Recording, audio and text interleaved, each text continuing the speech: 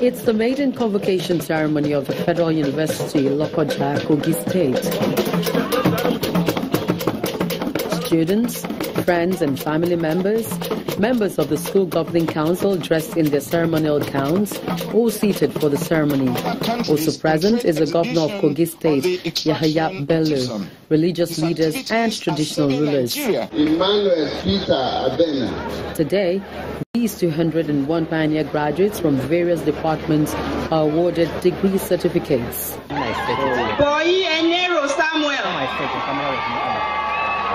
Founded in 2011, the Federal University Lokoja was set up with the aim of satisfying the yearnings of Nigerian students a point the Vice Chancellor of the university highlights.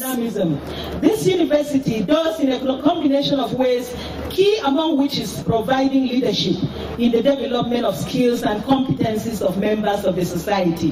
This allows them to be in positions to play diverse roles in social, economic, and political development of the nation. Congratulations. Thank you very much. Thank you. By the support. And then the decoration of the Chancellor of the University the Emir of Fika and Chairman Yobe State Council of Chiefs, His Royal Highness Alhaji Muhammadu Idris. Thank you. By the support. In his speech, the governor of Kogi State, Yahaya Bello, assures the management of the institution of his support.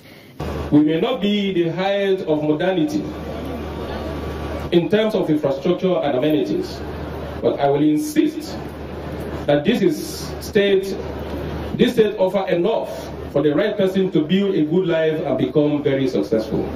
Some of the students who have distinguished themselves in academic works are recognized. If the institution can continue this way, and I think I can see a better future for the institution. One of the highlights of the ceremony is the award of a posthumous honorary doctorate degree of law on late former Minister of State for Labor, James Ocholi while former Minister of Education, Professor Rukayat Mohammed Rufai, and Senator Tunde Ogbeha also backs the award of doctorate degrees.